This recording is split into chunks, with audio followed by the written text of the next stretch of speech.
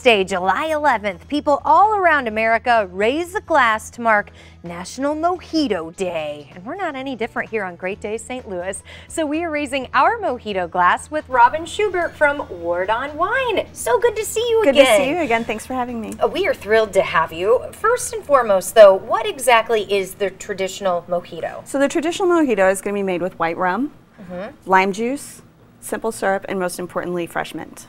You make it sound so easy, but I've seen multiple bartenders make it. This is a more laborious drink. It can be, sure. So let's sure. make it. Absolutely. Let's do it. Let's put you to work. So I've already got some fresh mint in the glass for mm -hmm. you, mm-hmm. and what we're gonna, you'll see bartenders they'll like pile things in there and just go crazy, mm -hmm. but mm-hmm. really all you need to do is just break up those leaves a little bit, just enough to get the aromatics to come out from the veins. Okay. It doesn't have to be crazy. About how many leaves would you say? Um, six to eight, or if you like more mint, I mean, go for it. It's your yeah. mojito. You do you. right.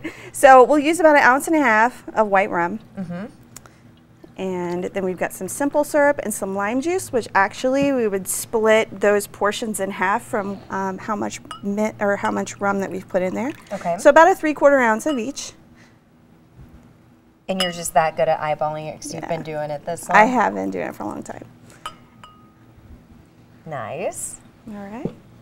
And then we're just going to give it a little stir just to kind of get everything working together in there. Okay. And then we'll add some ice. And try not to make a mess If you do, that's okay. Yeah.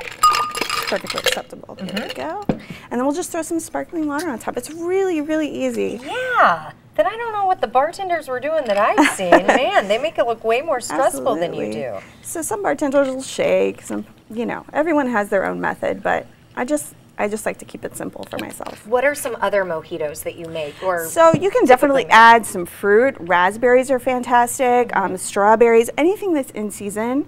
Um, just a really great option is just to put more. And you can also do a non-alcoholic mm -hmm. with ginger ale. That's really really great. Perfect. So do we give this another stir? No, no, it's ready to go. Okay. Well, happy National Mojito happy Day. Mojito Day.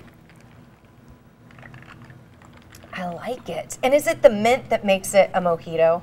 Yeah, okay. absolutely. Well, perfect. Cheers. We will post this on our website after the show, kmov.com slash great day. Matt, that's a pretty easy summer drink. I'm about